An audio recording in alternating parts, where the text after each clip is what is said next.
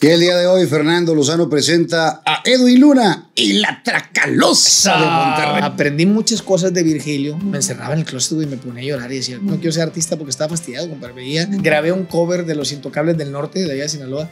Nunca salió porque papá como que lo pensó bien y me dijo, no, no lo cantes. Me sacaban chismes o algo y yo decía, ¿por qué? ¿Y la anécdota cuál era? Nunca le he contado. Nunca le- todos los eventos me decía Amador, no sirves para cantar, güey. Yo no sé qué haces aquí. Y nos agarramos a chingazos. Tampoco nunca lo había dicho, ¿eh? Esa es la realidad del por qué me salió. Yo me acuerdo cuando le dije, voy a la liberación y me dijo, está con madre. ¿Pero por qué?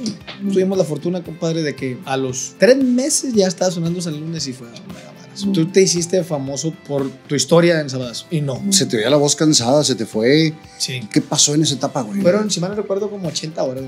Oh, su- Eh, Se hizo un pedo bien tenso por una canción. En algún momento, cuando yo estaba más joven, yo decía que cualquier escandalito o cualquier cosa que sucediera familiarmente, nunca lo perdonaría.